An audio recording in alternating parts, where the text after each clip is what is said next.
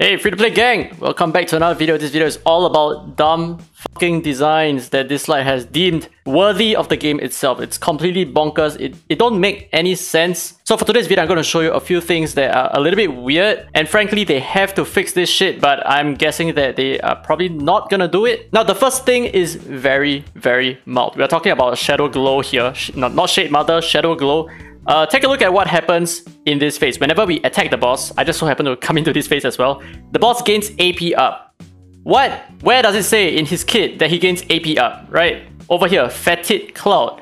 There is nothing over here, you can pause the video to check, that says that he gains AP up. It only says after the enemies take 6 turns, Oh my god, I got 8.7 million. This is so embarrassing. After the enemies take 6 six total turns, the boss takes a turn. So they worded it wrongly. It's supposed to be the boss stops gaining natural AP and he gains AP whenever your allies take a turn. Yeah, he gains like 1 out of 6 of his total AP bar. That is what it's supposed to mean. Okay, okay, okay, I know this is not such a big deal because this is just more or less the same output. But I just want to point out that simple mistakes like this it's just not dealt with all the time. So I have been bug reporting for like the longest period of time. Every single week, I'm at least reporting one single bug to the devs.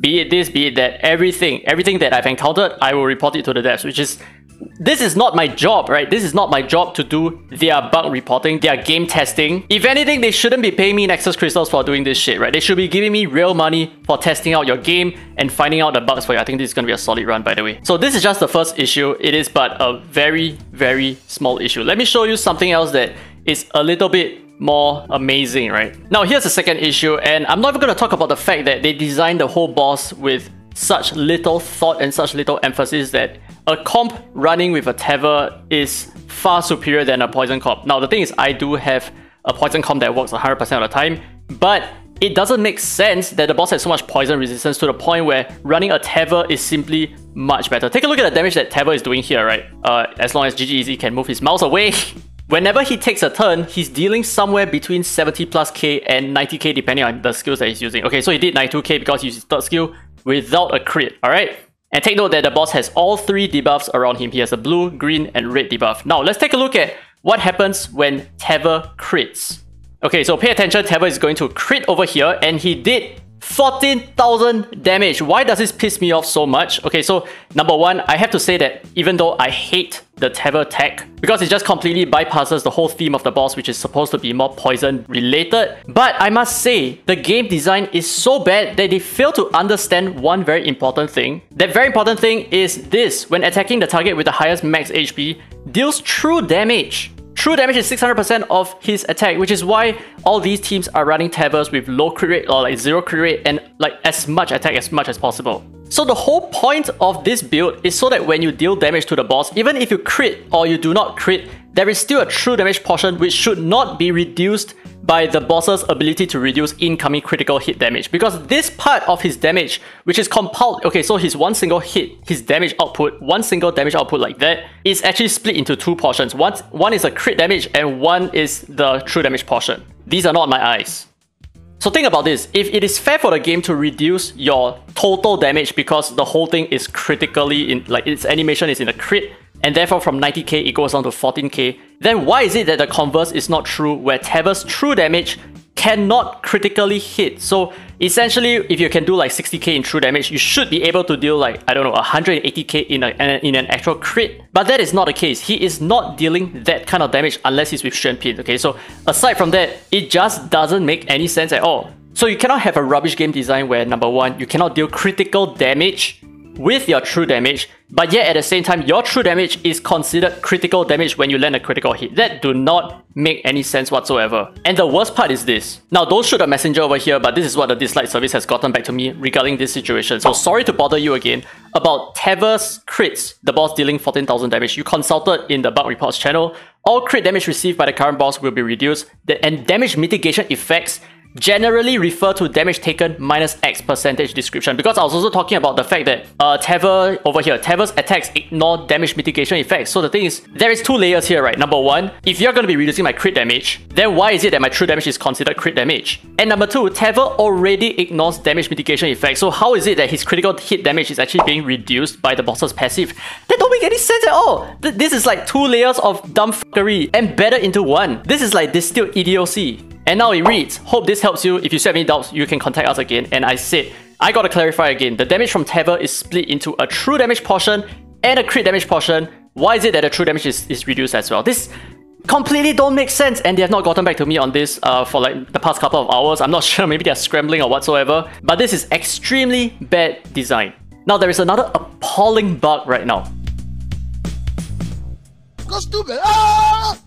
Go crazy! So this is something shared by Perez, who is also only Emblast. Hello, Chantico Adrina doesn't assist when an ally procs Avatara. Is it a bug? So let's take a look at what he means, right? So let's take a look at Chantico first, or rather Adrina. So what he's referring to is this. She performs an assist attack with her basic ability after her teammate casts a, a, basic abilities, right? So whenever you use your normal attack, she's going to assist with a normal attack. It's as simple as that. So in the same vein, we have seen a lot of situations where, like let's say Alice, when she counter attacks, she has a she has a chance of calling in an ally to assist at the same time. And that is the same for Xuan as well, which is why the Avatara set is so popular with these two aspects. Because whenever they counter attack, one of the allies is going to assist at the same time. Now, after some consideration, right, some major, major big brain moment, the developers have actually come together and decided that, hey, you know what? Hi, regarding the question you mentioned, the current setting of the game is that counter attack will no longer trigger effects such as counter attack and pursuit. So wait a minute, you're saying that it will no longer trigger effects such as counter attack and pursuit. This is not a counter attack, this is not a pursuit, this is an assist attack. It's completely different. So you can use Xuan you can use Alice, you can prove it to yourself with the Avatara set, you can call in an ally to assist any goddamn day. And at the same time, if you're telling me that pursuits cannot be in effect whenever you counter attack, let me show you Tang Xuan. Alright, check this out. We are at the VR Battlegrounds. Let's try to capture a moment where we Avatar proc. And we pursued!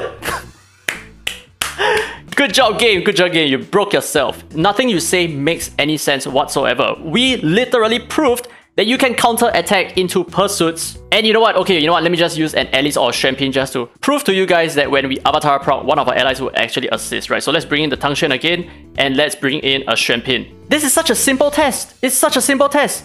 It's such a foolproof way for you to tell that that you know there is something wrong with your game. Something doesn't make any sense. Look at that pursuits on and okay, that fine. That was a it wasn't a counter attack into a pursuit. Okay, sure. Come on, hit my Pin. Come on, man, hit my Pin. Okay, avatar proc into an assist. Pursuits!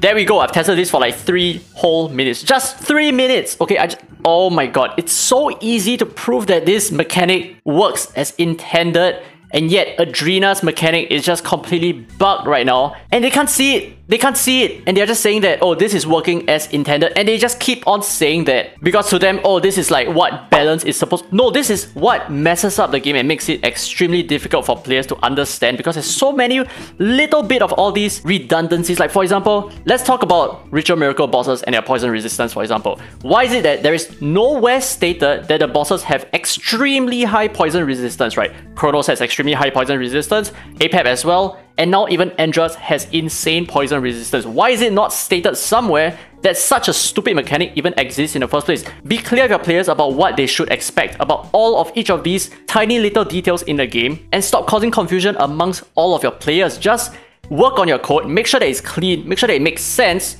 Everything that is supposed to work should work, and by extension, the Tevor tech is supposed to work as well, and it's very unfortunate that that is the case. So players like me who got scammed of our wish stones by summoning for Hilda and not getting Tevor instead, I mean, not as if we could do it, but I'm just saying, hey. Freak, that's such a scummy move. Oh my goodness, please wake the hell up and just fix your game. That's all we ask for.